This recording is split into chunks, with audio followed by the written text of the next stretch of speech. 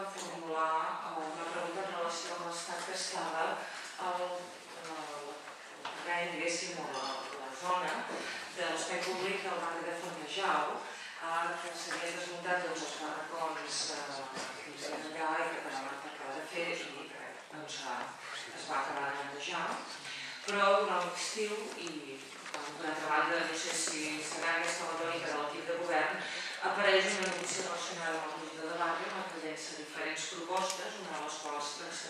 relació amb aquest espai, on citava que es faria un aparcament dissuasori per cotxes en aquest espai. Aquesta notícia eh, ens ha sorprès d'una banda que també ens ha preocupat eh, profundament perquè tampoc, si no recordo malament, una de les seves proclames electorals era que escoltaríem i que tindríem molt més en compte doncs, l'opinió dels veïns i veïnes i, i per tant que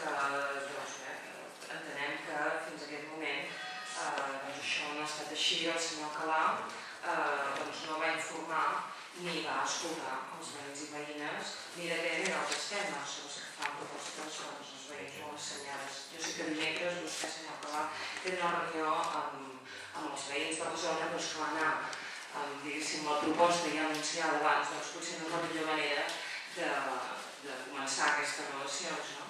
Els compromisos del govern anterior de la ciutat amb els veïns del sector d'ubicar en el mateix espai, per una banda l'arxiu provincial, però per una altra banda una plaça pública. Vostès no poden desentendre's d'aquest compromís amb els veïns.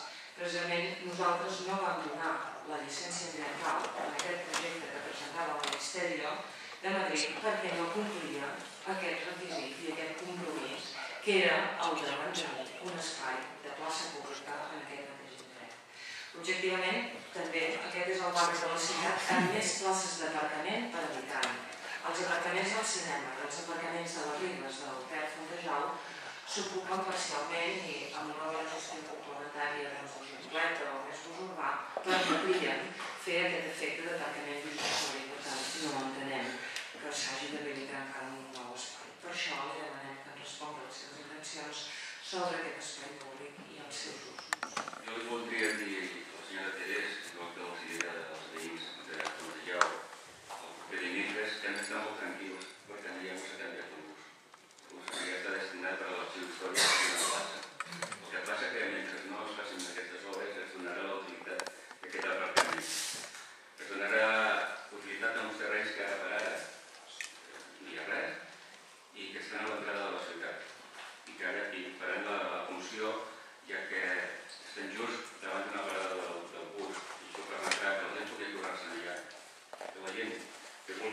and that's a